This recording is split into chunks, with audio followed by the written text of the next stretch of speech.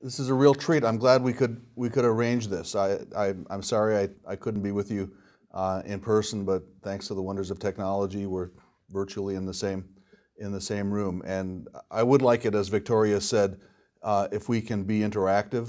Um, uh, so after after my remarks, uh, I hope you'll find something uh, that either uh, interests you or angers you or, or, or piques your interest, and we can continue the discussion. Uh, let me begin by, by giving you just a sense of, of who I am and, and what my institution uh, uh, is, because I, I, think there are obvious differences, but also uh, some similarities between, uh, between our, our institutions.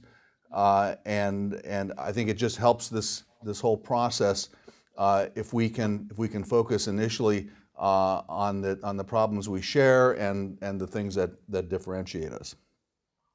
So I'm, as Victoria said, I'm a, uh, I'm a person who's, who's spent approximately equal times in academia, industry, uh, and, um, and government. Um, I, I, left Hewlett Packard in 2002 uh, to come to Georgia Tech, place where I, I, I went to school many years ago, uh, because I thought I could do something about um, about education. And in fact, I arrived uh, uh, at Georgia Tech at almost exactly the same time uh, that the um, that the dot com uh, bust was hitting uh, was hitting us in the U.S. and, and, and I think also in in Europe. Uh, and and my field is computer science, so it it, it hit computer science especially hard. and and the the thing that focused my attention was that I was hired as a dean. So, so I, was, I was handed uh, a set of problems that I didn't really uh, anticipate. Uh, and having to work through those problems, uh, I had to rethink a lot of assumptions that I had about, about higher education in the, in the US. And I'm, I'm going to get to some of those issues in a few minutes. Um, just a couple words about my institution. Georgia Institute of Technology is a public university. Uh, we're located in Atlanta, Georgia, sort of in the southeast uh, corner of the uh, of the U.S. Um, we are um, um, 140 years old, more uh, more or less. We're I don't like to talk about rankings, but but just bear with me for a few seconds. We, we are we are the seventh ranked public university uh, in the United States. We are mainly known for our engineering and compu computer science programs, uh, which are, are, are, ranked in the top four or five uh, annually by the, by the, the ranking uh, agencies. Um, that being said, we are, we are a, a, a university, not a, not a polytechnic. Uh, and, and, and we, offer, we offer degrees in the sciences, engineering, computer science, architecture, um, uh, humanities, uh, and so, and so, I think there will be something in my remarks uh, that that overlap uh, your interest in your in your background. But I, I, think the the special focus that we have and the special mission that we have, which is in the technology area, is kind of a close match for your institution, which is which is very professionally based and very uh, and very very skill based. So so I, I, think there are a lot of things that I have to say this morning that will resonate um, with you. When I, when I stepped down uh, as, as dean uh, in 2009, 2008, uh, I, I, I did what a lot of administrators do uh, when they leave their administrative positions. I, I, I wrote a, long memo to my president um, as sort of a valedictory. I wanted, I wanted to describe uh, what our successes had been and what our, um, what our our, um, our challenges uh, had been, and I, I, wanted to lay out an agenda for the person I hoped would be the next dean. And as these kinds of things go, uh, I, I, I, um, I, wrote a five-page memo and, and showed it to some colleagues. And, and much to my surprise, I started getting questions back from my colleagues uh, about some things that I was saying about higher education uh, in the in the U.S. Things things which which I had learned as an administrator, um, but um, were not widely shared or widely understood uh, among my faculty colleagues. Uh, and uh, I'm kind of a careful fellow, so, so I didn't want to send a five-page memo to the university president um, that, had, that had gaps in it. And so, so I started expanding this five-page uh, memo, and, and several months later, my five-page memo had grown into a 100-page manuscript, um, which um, I had not anticipated. Uh, but, but that experience uh, of trying to explain um, the state of, of American higher education uh, in 2008 led directly to my first book, Abelard to, um, uh, to Apple.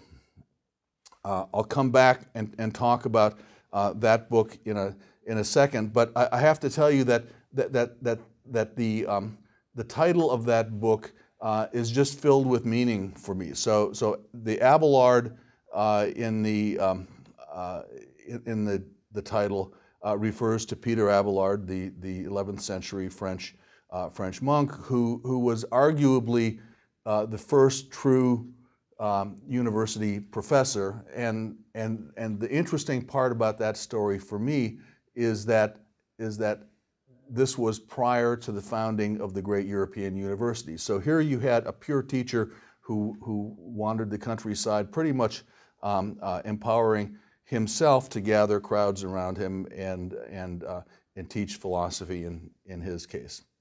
Uh, and, and the Apple in the title refers to Apple Computer. And in 2008, um, the, the largest online uh, repository of university courses was, was Apple's iTunes U, the sub store off, um, off Apple iTunes, uh, in which people could take for free um, uh, university university courses. And, and for me, this was very meaningful that, that, that you had this historical bookending of Peter Abelard, a pure professor who taught the masses without, uh, without the backing of an institution, and, and then you had Apple Computer, the 21st century, uh, in my thinking, 21st century version of, uh, of Peter, Peter Abelard. The subtitle of the book uh, is The Fate of American Colleges and universities. And if you read the reviews of that book, a lot of the reviewers seized on the word fate because it, it's, a, it's, a, it's, a, it's a pregnant term. It's a, it's a term that, that, that carries a lot of, um, a lot of weight. It, it, implies, it implies destiny. It implies, it implies a path forward uh, that if you don't ignore it, uh, can lead you in unanticipated, unanticipated directions. And that was the view that I had of American higher education in 2008. I, I thought that it was seriously uh, uh, off track, uh, and, and Abelard to Apple tried to lay out what the issues were for American higher education uh, and present not necessarily solutions, but, but present alternative views of the way my institution and, and my peer institutions should, should go. Um, the, the book was, was successful uh, beyond my expectations. Uh, and, so, and so when I started looking back um, three years ago at, at, at what we had accomplished, uh, I thought maybe a revision of the book should be in order because by 2012 there had been a substantial amount of change in, in, um, in American universities, and I wanted to document that. Uh, and, and as these things go, writing a second edition of a book um, uh, turned out to be less interesting than writing a whole new book. Uh, and so my current book, Revolution in Higher Education, I think is, is the next step in this evolution from, from fate. Institutions will, will, will evolve according to economic and social principles to actually changing the way education is, is done. And, and, and that's the message that I want to talk with you about this morning. Um, it's clearly an American context that I'm that I'm I'm talking to you uh, from. So so let me let me spell out just briefly what some of the differences are, uh, because I, I firmly believe, and this has been this has been something that's been reinforced in my visits around the world the last few years. Uh, I, I, I firmly believe that that although my motivations come from an American context. The problems I'm talking about and, and the, the solutions to them are truly, truly global. This globalization of higher education Uh, you don't have to look too far to see uh, its, um, its effects. The, the numbers of students um, that, that, um, that, that cross our, our borders um, uh, to study at, at foreign institutions uh, seems to grow inexorably uh, every year. The number of joint degree programs, the number of, uh, of, of, joint research projects, uh, the number of ways that we find to cooperate on a global scale means that it's very, very hard for us to look at a single national situation in higher education uh, and ignore what's happening in the rest of the world. And I'll just give you one example of this. As we start to rely more and more on, on regulators and accreditors uh, to help us judge the quality of institutions, you have to look at where those accreditors are, are drawing their inspiration. And they're increasingly drawing their inspiration from things like, like international league tables, which, which are, are very, um, uh, are very self-consciously um, designed to measure institutions according to commonly understood, uh, understood benchmarks. And it doesn't really matter what part of the world you find yourself. I mean, you can be in a, in a, in a dusty village in the middle of Africa uh, and, and walk into a university classroom, which is crowded to be sure and, and, and not very well equipped, but yet somehow uh, a, familiar, a familiar place because, because the professors have been educated at institutions that we all, uh, that we all know, and what happens in the classroom doesn't tend to vary much from, um, from place to, to place. So, so what are the differences? What, what, what is it that motivates me uh, that, that wouldn't necessarily resonate uh, with, um, with you? Um, and I'll try to, I'll try to just focus on, on a couple important, uh, important issues. The, the most obvious thing to me is that, that in the United States there's no Ministry of Education.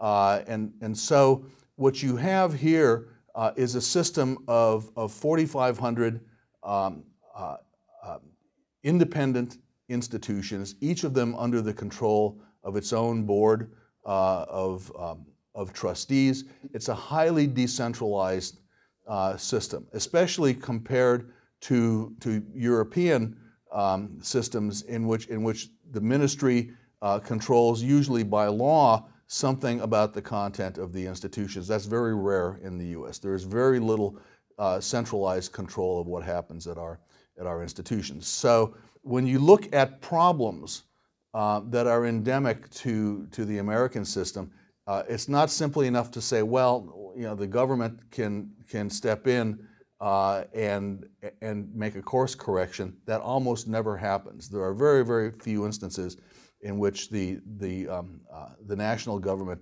steps in uh, to, to modify the course of, um, uh, of an institution. Um,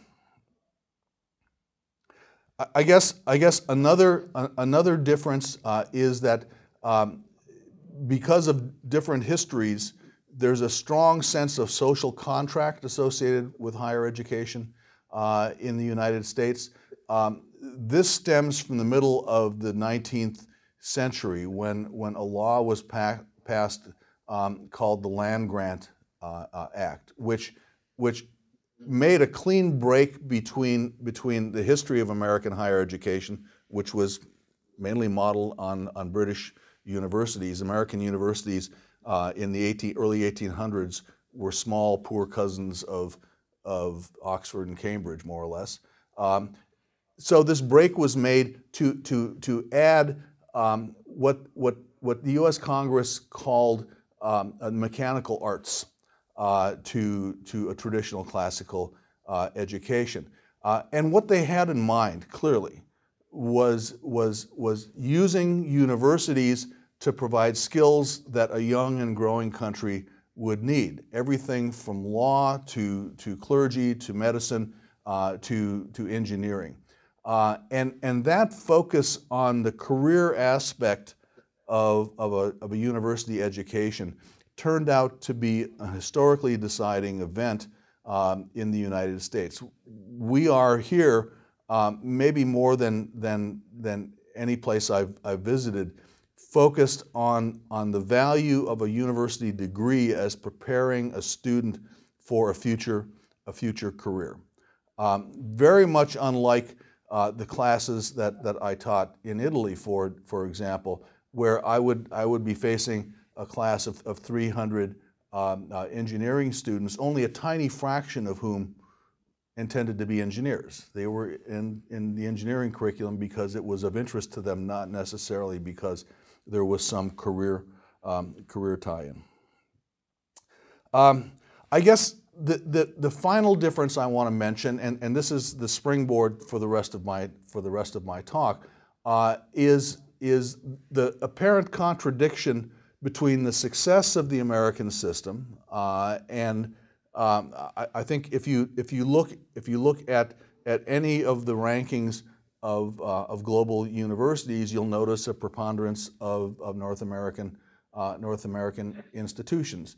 Um, so you have to contrast that with, with, the, with the expense of, of maintaining such a system.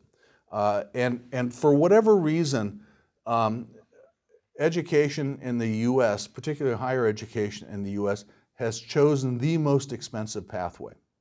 Uh, so, so, so we maintain uh, a system in which there are a number of elite universities, but, but the cost of doing that to the rest of the system is enormously large, uh, and, and some would say, I would say, uh, unsustainably, uh, unsustainably large. So, so you find, for example, extreme inequality uh, spread among American institutions. Among, among these 4,500 institutions, you find places like Harvard uh, and, um, and Stanford, which, which everyone would say are among the very best universities in the world.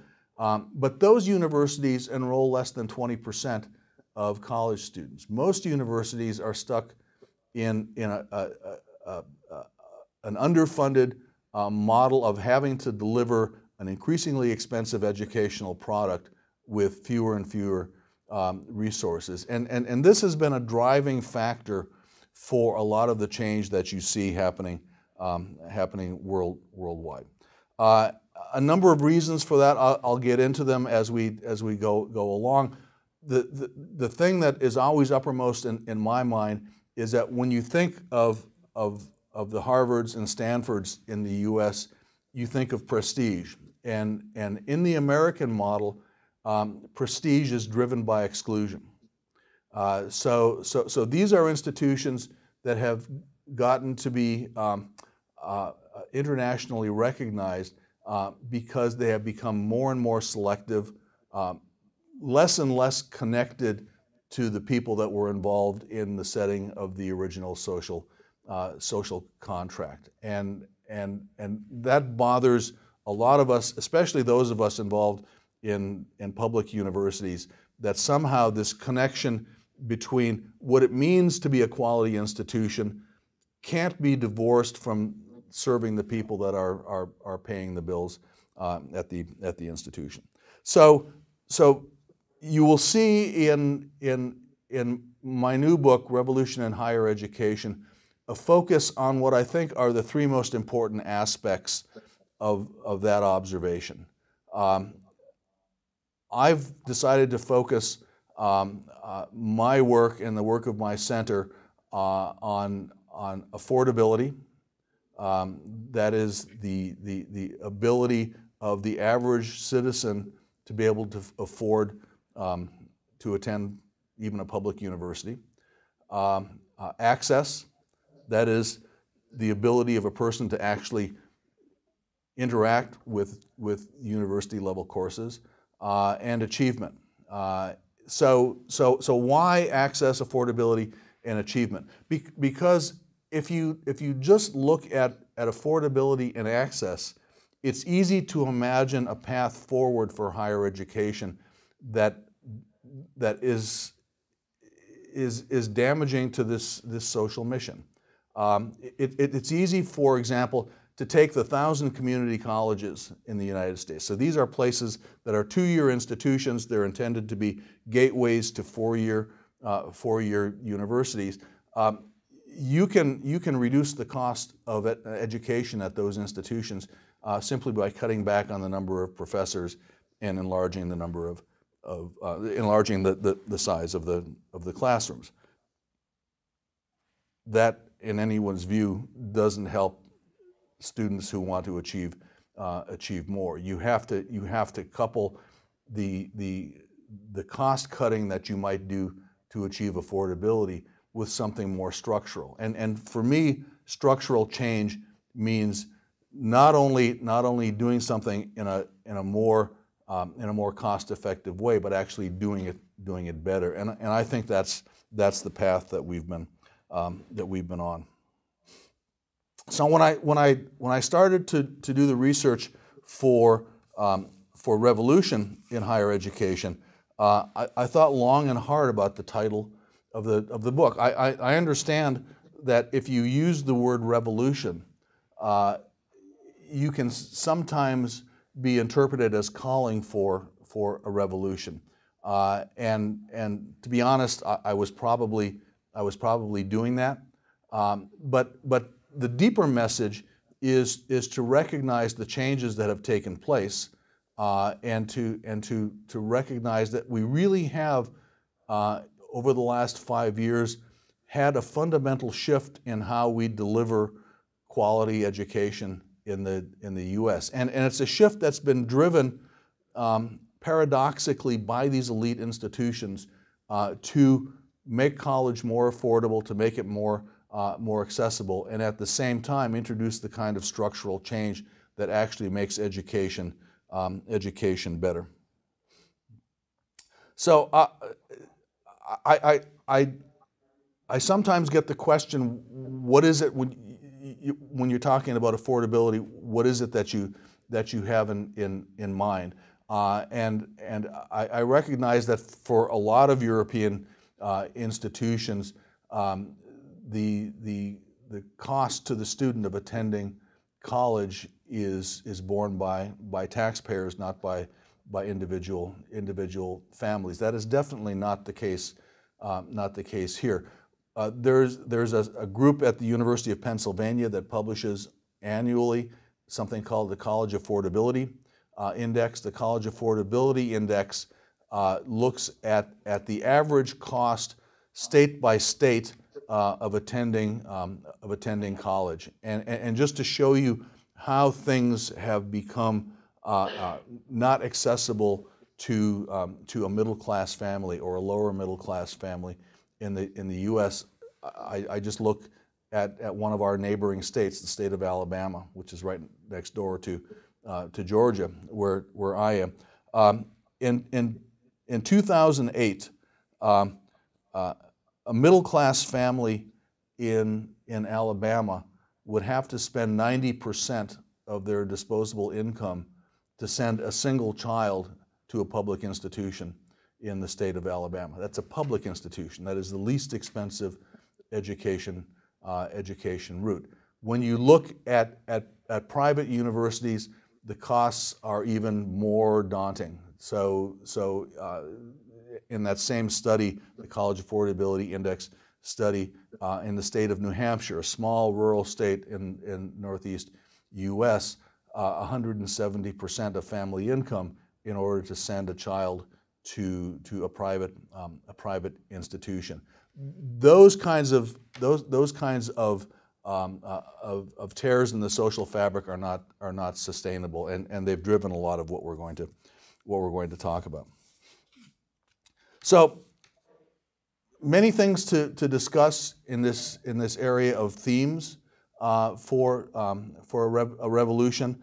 Uh, I've mentioned affordability, access, and, and achievement. Um, as I've visited dozens, now 100 campuses since, since I started this, um, this process, um, I hear some common discussions taking place uh, uh, in the US, Asia, and, and in, um, uh, in, in, Europe. I, I, hear, for example, um, very serious discussion about continuous innovation in education.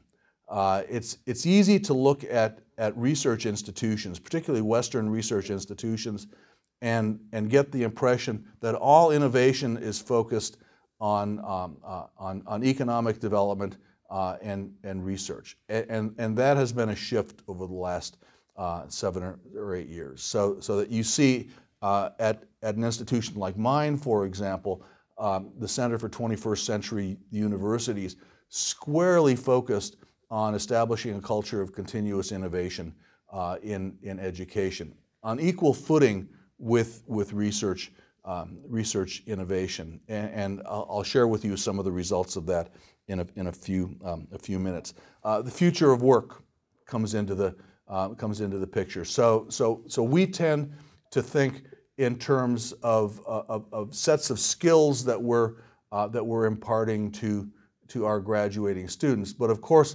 those skills are only meaningful in the context of, of work that's going to be undertaken over the next generation. And, and every serious economist who's looked at the problem understands that the future of work has, uh, has shifted. Even something as, um, as seemingly cut and dried as computer programming, my field, uh, where, where there's, been, there's been an effort uh, um, across the civilized world, I, I, I think, to, to increase the number of skilled people that have coding skills uh, entering, entering the, the, the workforce. Um, the nature of those skills is, is changing, particularly with the rapid introduction of artificial intelligence.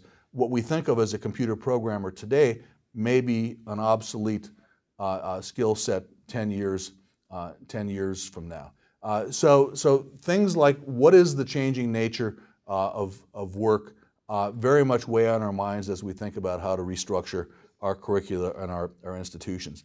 Demographic shifts.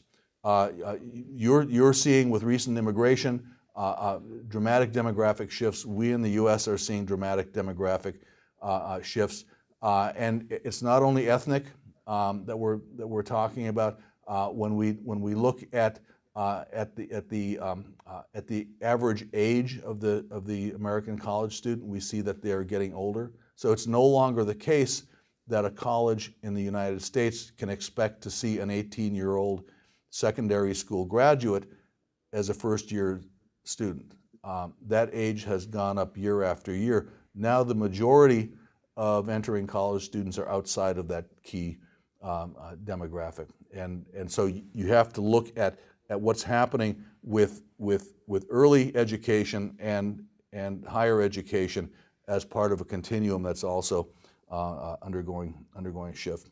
Um, I'm seeing, I'm, I'm seeing an, an, emphasis shift from, from quantitative aspects of education uh, to things that are much more difficult to, to quantify. So a lot of people, uh, uh including me, uh, have been have been um, um, fairly insistent that we be able to quantify the quality of the education that we give our, uh, our students. And, and, to be honest, there have been great steps forward in assessment uh, and assessment technologies that allow us uh, to do that. But as we make strides in affordability and access, what we find is that we are now making room in our curriculum to think about educating a whole person, not only a person that sits for an exam.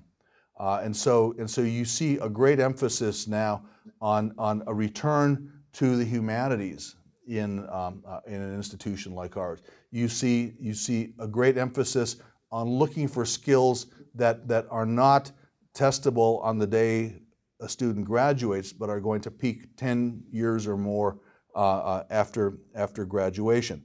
That is all new territory for, for higher education. And, and it, it's something that education researchers have yet to, to grapple um, yet to grapple with.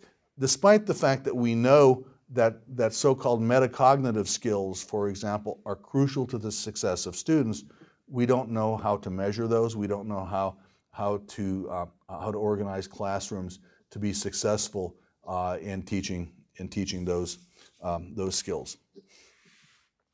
So, so what is this revolution that I'm, that I'm talking about? So this, this is a revolution uh, that, that I think swept the world beginning in 2012 uh, with the kind of dramatic introduction of massive open online, uh, online courses. And, and, and that is probably um, the way in which you experienced um, uh, changes on a, on a global scale. Uh, uh, large numbers of students taking courses for free, uh, generally not associated with an institution or not associated with a, um, with a, a degree. it was an occasion for a lot of hype. It was an occasion for a lot of media uh, uh, media uh, coverage. Um, depending on where you were on the spectrum of, of people who hated the idea or loved the idea, it was either the savior uh, of, um, of higher education or it was the death uh, of, um, of a traditional um, university education. Um, we did not we did not undertake that battle. Uh, I think mainly because we don't have a school of education here at Georgia Tech. We decided that what we would do is, is undertake small projects to explore how this new technology uh, could, be, could be used. And I think the first surprise I had in this entire process was the number of my colleagues that were lined up outside my door volunteering to participate. This is a pretty conservative institution that I teach in, like most engineering schools. The curricula has been around for a long time. Engineers don't necessarily like to change what they teach or how they, uh, or how they, they teach it. But motivated by some of the same concerns that I, I mentioned to you a few minutes ago, I found that, that when we announced that we were going to start producing massive open online uh, online courses, I had 50 colleagues, um, the most respected colleagues at the institution, uh, who wanted to try it out, who, who weren't quite sure what this new technology was going to, um, was going to mean, uh, but they knew it was something different than what they had seen, uh, seen before. The story I heard over and over again from my colleagues was that, that they looked at the first wave of of, of MOOCs, massive open on, online courses, uh, and saw quality classes uh, being taught by, by the best people in the world to 150,000 students. And, and, and every one of us who looked at those numbers kind of sat back in our chair and said, huh, I hadn't expected to see that. I wonder what that, I wonder what that, that means. Um, we, we, um, we obtained private funding uh, to explore this, this area. To date, uh, we have a portfolio uh, of, of courses that attracts over a million and a half students um, around the world. Um, like a lot of experimenters in this space, we didn't really anticipate that we would be doing degree programs or four credit offerings using this, this format. Um, it was my successor as the dean of the College of Computing here at Georgia Tech who said, I wonder if we can do a degree program uh, for, um, uh, for larger numbers of students using this same technology. Uh, and, uh, and that, was, that was the start of a discussion that led to Georgia Tech's online master's in computer science. This is a master's degree in computer science. It's, it's one of the, one of the, the, the very well-respected master's programs in the world. Uh, and, and, and the dean decided that, that what we would do is, is try to offer this course in massive open online format, using the kind of pedagogy, using the kind of, of, of data-driven educational research that we had developed in offering our other courses. Um, we all had different motivations in, in pursuing this, uh, this strategy. I, for example, thought that, that what we were doing was, was mounting a highly competitive offering uh, that would advantage us when compared to our peer institutions. I thought, for example, that we would be successful, but the way that we would be successful would be to, to essentially steal students from, from the highly ranked programs near us at North Carolina uh, and, uh, and Vanderbilt and, and Virginia.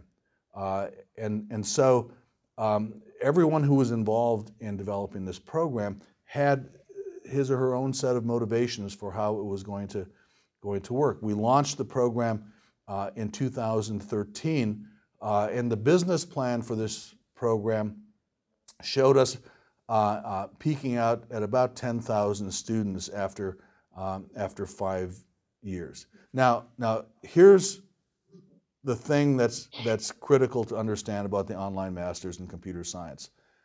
A student coming to the Georgia Tech campus to take this degree pays about $45,000 for the, for the degree.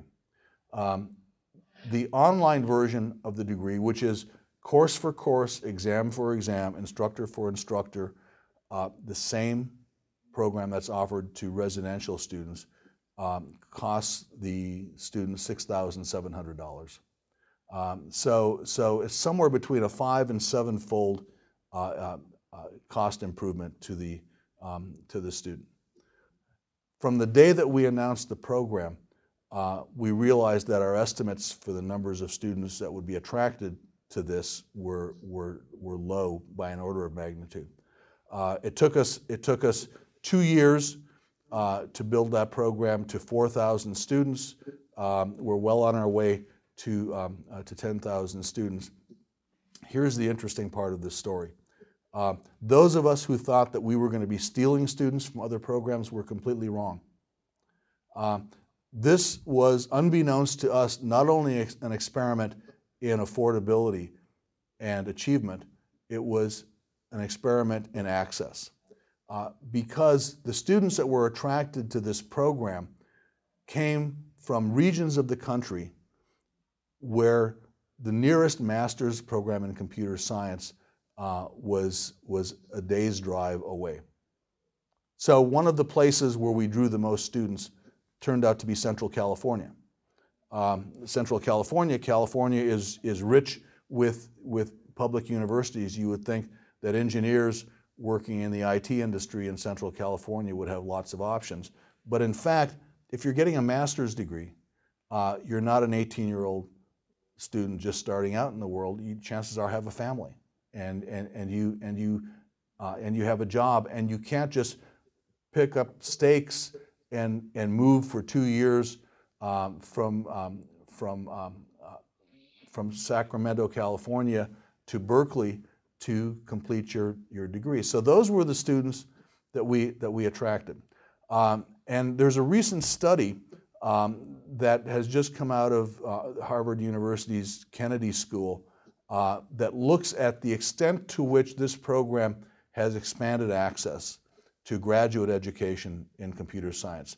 So in its first year of operation, uh, the online master's in computer science has expanded the market for graduate education by 8%. One program, one year. Um, and if you project that over 10 years, this program will have doubled the market for, for master's degrees in, in computer science. That was done by a mix of, of, of applying quantitative education research technology in a clever, uh, in a clever way and, and and enforcing quality in the program, in the program itself. Now, how does this affect affordability? Um, to the student, it sounds more affordable. $6,700 is a lot cheaper than $45,000. Um, the 4,000 students that we've added to Georgia Tech have been added with a zero net increase in faculty. Um, so, so, so, so we have, just by offering this program, improved faculty productivity um, substantially as a, as a result. And, and you can see the effects of this rippling through our campus and other, uh, other campuses. Uh, I think it's, it's not beyond the realm of possibility that every one of our professional master's degrees uh, will be offered in this, in this format. Um, if you read the online comments for the, for the student, from the students, they're happy with the program. We measure the results uh, of these courses so we know how students are achieving relative to the residential uh, experience and, and, and the results are, um, results are, are dramatic. This has also been the occasion for us to continue this innovation process that we've, um, that we've talked about. So, so how, do you, how do you take a cohort of 4,000 students and without increasing uh, your, your faculty workload, do simple things like grading homework or grading, um, grading exams. Um, we've started a broad-based research program uh, on how to use peer evaluation uh, to, to do that. And, and you know, this is not simply exchanging homework um, between, uh, between classmates. This is a carefully designed process in which we know what the meaning uh, of a peer grade is that, that's assigned uh, on, a, on a piece of lab work, for example. And, and as, you, as you look at, at, at the ways in which the results of these courses have been used both in the residential part of our program and our online program, you can see the number of innovators flooding into our laboratories and, and to develop new um, to develop new courses. Um, so let me bring this part of our discussion to, to something of a, of a close here. Uh, I, I think if I, had, if I had tried to project in 2008 where the course of this revolution would have taken us, I would have been completely wrong. Uh, I, I, think what we're talking about is not a technology revolution. Uh, it's not, it's not a, uh, a revolution that involves cost cutting and cost savings. It really is something much more, much more structural. Uh, when, when we started out, uh, I, would, I would try to short circuit discussions uh, about, about cost because it's, it's easy to think about cost as just cutting costs.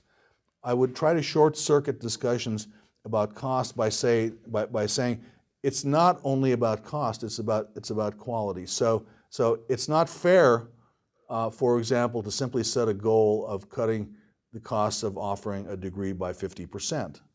Um, what is fair, because that's easy to achieve, what, it, what is fair is to ask what kinds of structural changes would you have to make uh, in order to improve the quality of your offerings uh, by 120% at 80% of the cost. Uh, and, and, and, and those figures turn out to be very interesting touch points for us. You have to change things. You have to change the way that you, that you look at, um, uh, at education. One of the, I think, dramatic consequences of, of what's been done uh, uh, at, at, at, my place and, and, a lot of peer institutions uh, is, that, is that you see for the first time the effectiveness of the lecture format on the college campus really being called into question. Um, and in retrospect, it probably shouldn't be that surprising. Um, if you if you take a bunch of young people, and I, I, see I see you're in a very nice auditorium, but but but you know when there's a lecturer at the front of the room and the and the lights go down, I can I can almost visualize the naps that are being taken place in the back of the back of the room. Uh, we see the same thing, same thing here. That that giving a speech uh, to to an audience of passive students um, satisfies none of the requirements for effective learning. And in, and in fact, if you look at the neuroscience of learning, um, you can understand very quickly that that the idea of lecturing to students and then testing them at some later some later point has no basis in science at all. Um, it's not how the human brain learns. The human brain learns by, by being stimulated in short bursts.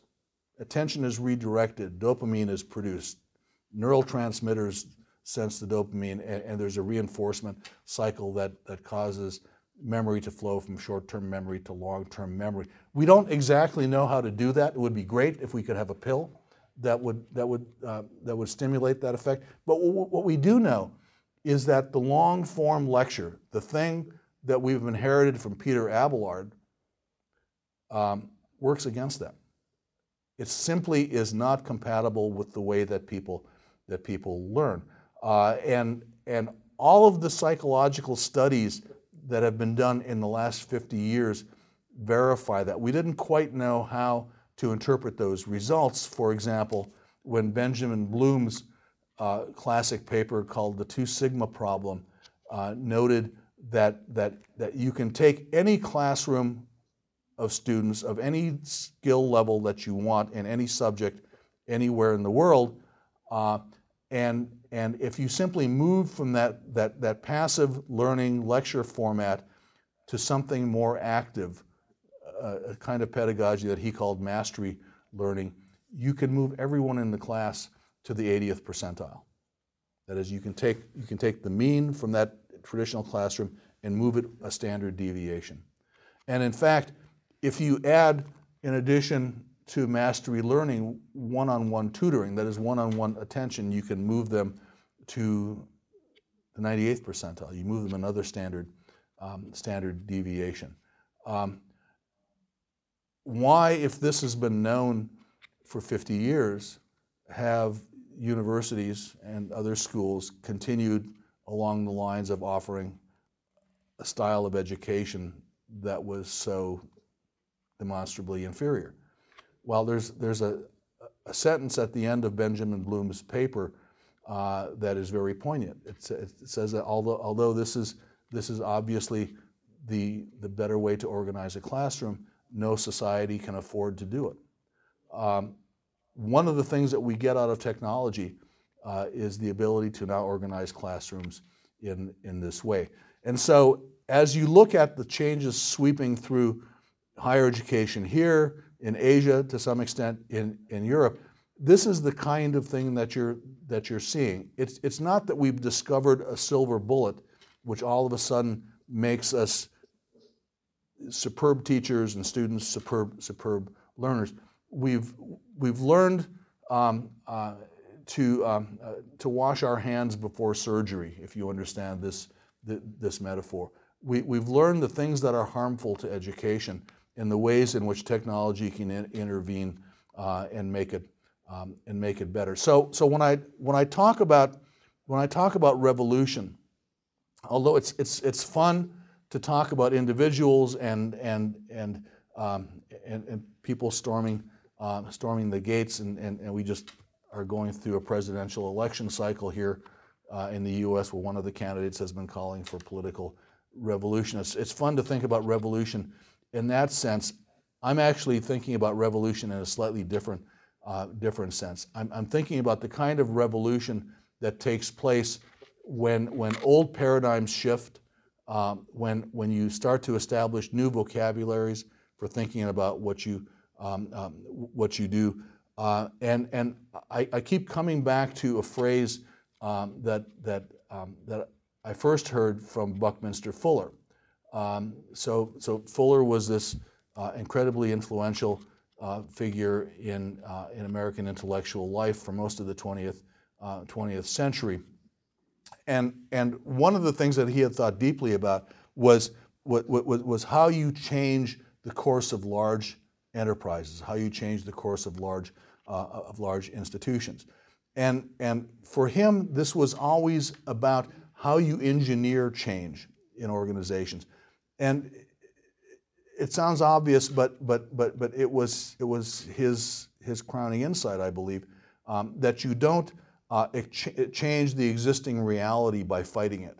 What you do is you provide an alternative that makes the old way of doing things obsolete.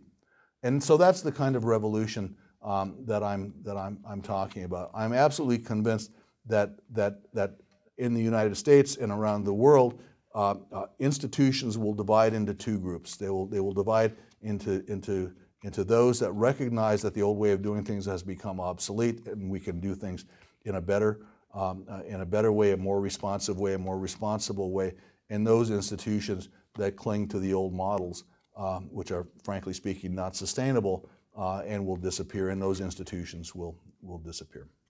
Um, so I, you know, I, I fully intend to, to, to you know, come back uh, four or five years from now with a, with, with a look at, at how these kinds of changes have affected our institutions, what kinds of new educational models uh, are we able to introduce as a result. Uh, but I can see already the pathway is clear that, that, that if we look out even four years or five years, um, that we will be educating students uh, not in, in in theaters like the ones that we find ourselves in, in today, but in much different spaces using much different uh, kinds of technologies, expecting much different things from our students.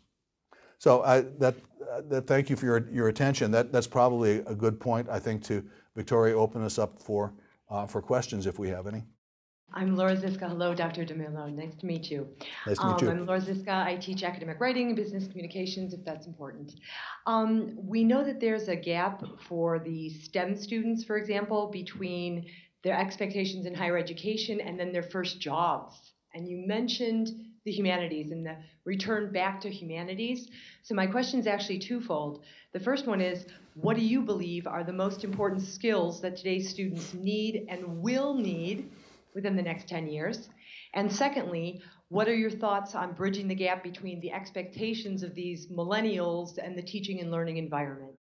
Right. So, so those are two those are, are two critical critical questions. Um, and and the, the, the, skills question, as I alluded to in the talk, I, I think is is a very interesting one. It, it's it's easy for us, I, I, think, to try to make skills inventories and, and, and teach to those to those inventories.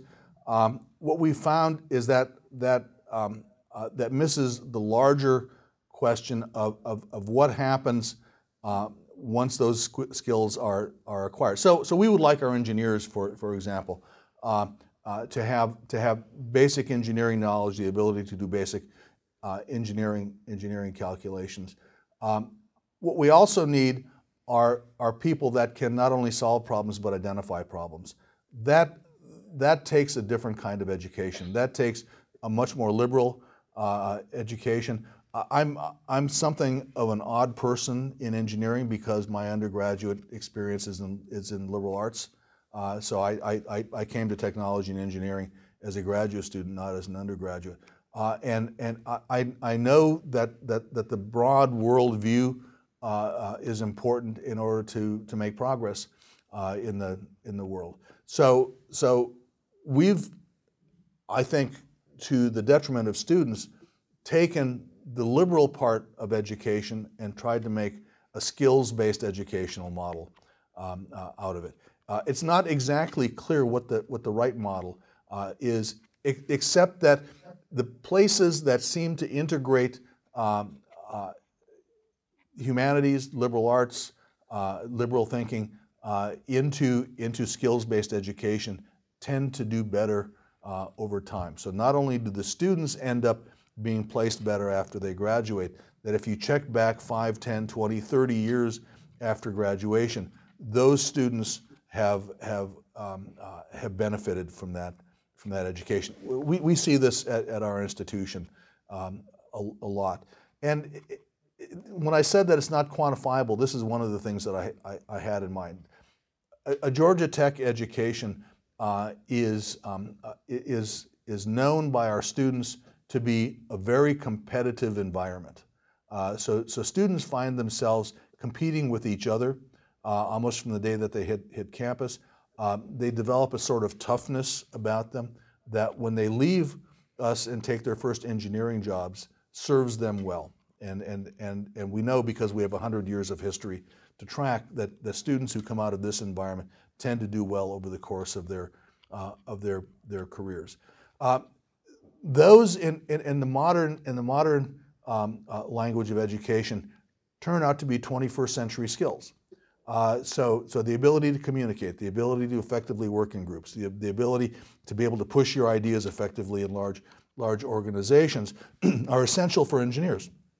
You can't learn that in a calculus class, and you can't learn that uh, in, an, in, an, engineering class. It has to be integrated into every aspect of, of, of your life. And we're just learning how to, how to do that. I can give you one instance uh, where, where we think we've, we've seen some, some progress.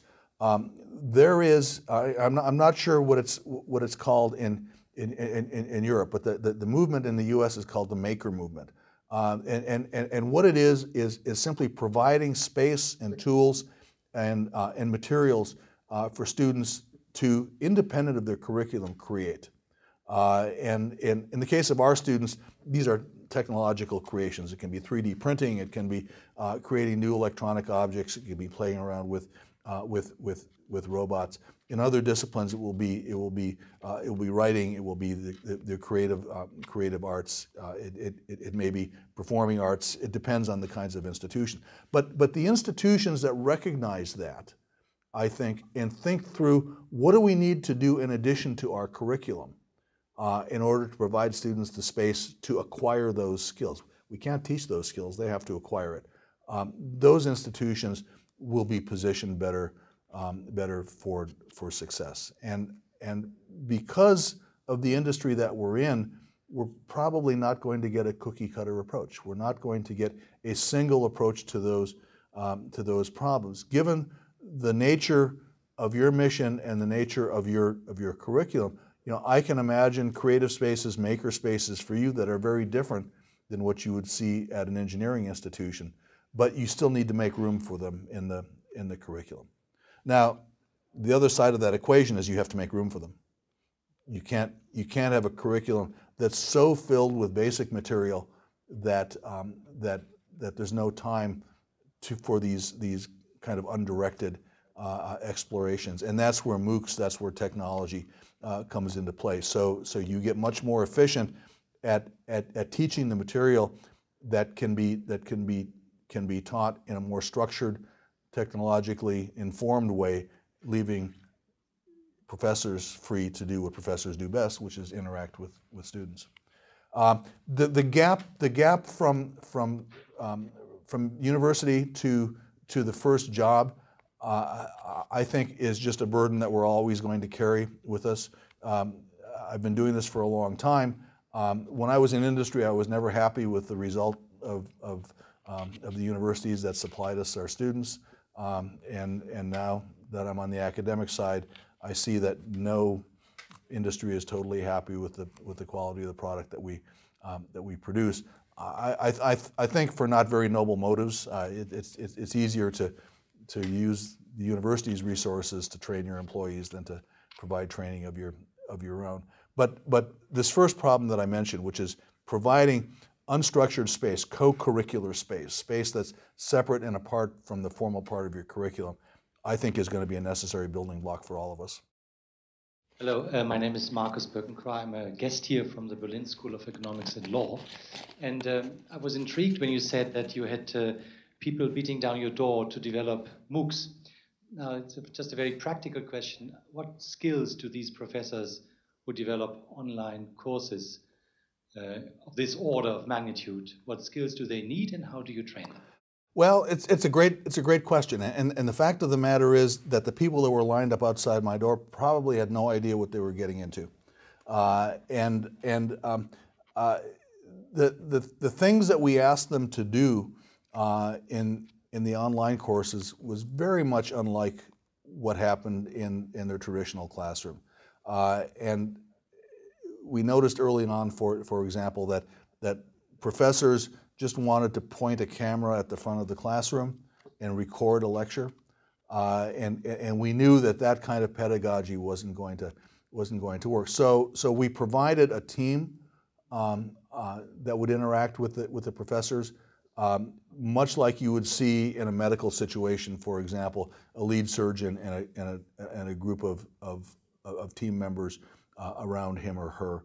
Um, so instructional design turns out to be a very important aspect uh, of this. That's very different than, than looking at 13 weeks of, of, of three hours of lecture per, per week because you're now producing small snippets of, of content, 10 minute at most lectures videotaped, followed by an assessment, followed by some, some uh, uh, adaptive learning model that allows students to choose different paths through it. That doesn't happen by accident.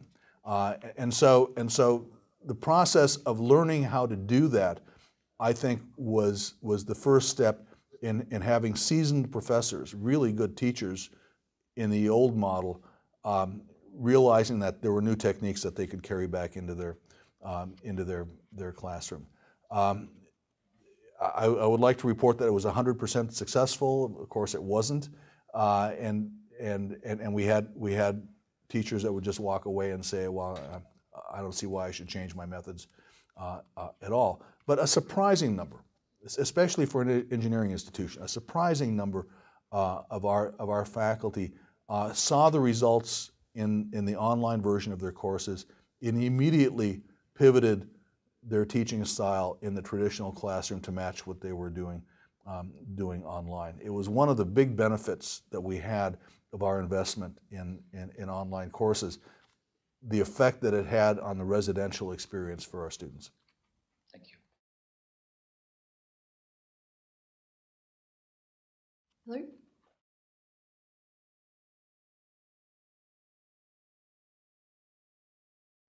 So, uh, Hilary Murphy, um, I would ask you um, who's going to be the big disruptive force in education? We know that uh, the likes of Apple and Google uh, they must see education and the thousands that people spend in education as just ripe for plucking.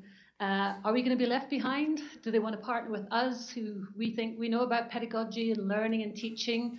And a second question uh, really, we've spent millions on buildings. What's going to happen to all these buildings Yeah. that, uh, you know, these assets that we have as institutions that are endowed? What's, what's, how are we going to make money from them when we've invested so much Well, let me say, physical construction? So, so let me let me uh, attack that last question first, because because it is it is a real issue um, for us. When when um, when when my president um, decided that that he was going to support the Center for 21st Century Universities and and support the um, the production of of MOOCs. Um, we made a presentation to our board of trustees, what we call our, our, our board of, of, of regents. Uh, and, um, and, and Dr. Peterson said something that was just startling to the group. He said, I, I, I don't know why we would ever approve a traditional classroom building from this point, um, from this point on. This, this is from a president who's made his career raising funds to, to, to build theater style seating, um, to give lectures to, uh, to students. But he was, he was right um, that, that we have to rethink our capital uh, investment. Um, you know, a lot of the assets that we have, capital assets that we have, are going to be stranded. Uh, we have to think very hard about what to do with them. Um, the building that, that I'm in right now is a, is a building that I helped build six years ago. The, um, uh, the bulk of the, of the classroom space in this building uh, looks very much like what I see in the background there, uh, and, and it- it's becoming increasingly unusable. Uh, what, what, what students are looking for is flexible space. The, the classes that I teach, I should be teaching them in theater style seating. I have flexible seating in my, in my center, and so, so I literally pull the students out of the traditional classroom into, into something that's much more collaborative and, and reconfigurable. Uh, and, and it works well for my classes, it works well for the classes that, that use that, um, that use that space. So I, I think we're going to have to take a look at the tremendous capital investment that we have and decide what to, what to do with it. Um, maybe some of us will open museums that we can, we can say, here's how we used to teach um, way back, way back when. Uh, and I'm sorry, the first question was, Um, the disruptive forces. I So mean, dis- the disruptive forces, yes. Right, disruption. Yeah, so- And, uh, so- we think we put the, the the accreditation for courses. Do people really worry about that in the future? Wouldn't they rather have an Apple degree or a, a Google degree or a, a Microsoft uh, degree rather than a bachelor or a master's or? It's one, it's one of the battles to be, to be, to be fought. Uh, I, I don't think so. I, I, I, I, I think that, that, that we all spend uh, decades building our brands for, for, for our, our degrees. Um, and the experience is, is that, is that the, the, the marketplace values those degrees. It's the only thing that we know the marketplace will spend money uh, uh, on. Uh, and although there are external disruptive forces um, that, that, that, we're, that we're adopting, they haven't really disrupted the value chain um, involving degrees. So we, we may have different kinds of degrees, we, we, may, we may have different ways of, uh, of packaging um, our, our diplomas, um, but it, it's hard to imagine that, um, that, that a Google or, or, or a Microsoft uh, is, is going to be able to establish that brand over, um, uh, over time. If, if, if you think about the stable brands uh, that would be good candidates, these are companies that are less than 50 years old. Um, and there's no guarantee that they're going to be around in the, um, in the future. So, so we partner uh, with, uh, with a lot of external companies. We, um, we, we think that, that, that there's a lot that we can learn um, from their, their technology. Uh, but I'm one of these people that is not convinced uh, that, that, that they are going to be a replacement for a university, university education. Uh, we, we, we've got a, a, a long history here, and, and you have a long history with polytechnics in, in Europe of producing um, uh, uh, graduates with a certain level of skill and a certain kind of certification that is meaningful in the, um, in the marketplace. Uh, maybe some of that gets readjusted in the, in the process, Um, but when you step back and look at the larger uh, economic picture for, for higher education, the, the, the, the flow from, from, uh, from students recognizing a need for education to some credential uh, that has weight behind it, uh, I think is going to, um, is going to remain. Um, you, mentioned the accreditors, and, and, and I'm, I'm a very vocal critic of the, uh, of the accreditors. I, I think the, accreditors have not done a good job uh, of, um, of setting a bar, uh, a quality bar for, for higher education. They've become involved in, in defining league tables and, and, trying to measure, uh, measure quality and, and, and induce us all to, to improve quality when they don't really understand what that, what that is. So, so to the extent that, that there's a regulatory function that is going to take a dispassionate look at all of these various players and, and establish rules that we can all play by, I think we'll be better off. But that being said, that, that being said, the, um, the, the, the experience that we have here is that, is that a university brand is extremely hard to displace. Uh, and, and, and no matter what the market presence of a disruptor is, it doesn't really have much meaning um, when it translates into, into the, the university degree you know, we've, we've begun to graduate the first set of cohorts from our online masters. There's no reason that these students would ever have to visit the Georgia Tech campus, and yet they show up on graduation day to be able to walk across the stage and receive their diploma from the, from the president. Why is that? They feel an emotional tie to this institution that they've only visited virtually.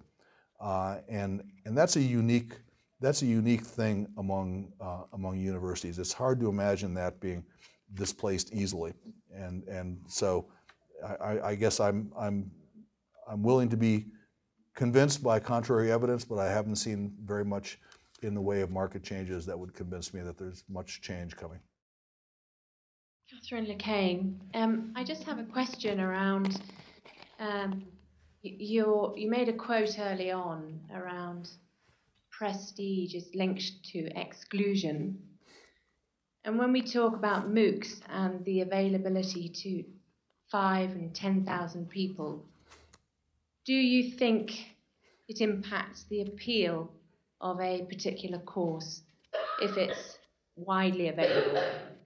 I, mean, I think it's a complicated, complicated question, and I, I, I don't pretend to know the answer to it. I, I, can, I can tell you that that from the data that we've been able to uncover, um, students experience these courses in different ways depending on what their expectations are.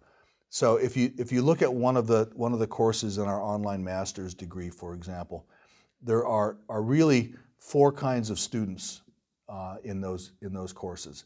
There's there's the typical MOOC student who is just browsing and, and comes across this course and and may sit through a portion of it. Maybe they, they just want to learn this little bit of machine learning or this little bit of, of, of programming. Uh, and and, and those, those students who constitute the bulk of the students in the course have one set of experiences. At the other extreme, you have students that are admitted to Georgia Tech. So these 4,000 students that I talked about are students that have been put through a rigorous admissions process.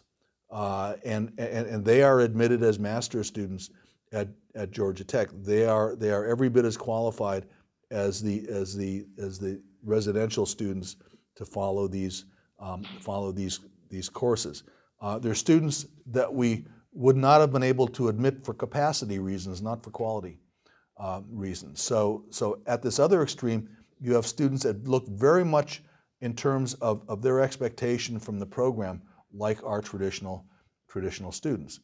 In the middle, you have, you have varying uh, experiences for the students. So for example, um, one kind of student um, comes to the master's degree um, without being admitted to Georgia Tech, uh, but taking two courses and an exam, which they can then present as a credential for admission. So this would be someone who's maybe been out of school for a long time, uh, and, uh, and, and doesn't really have the, the credentials to be admitted directly into the master's program.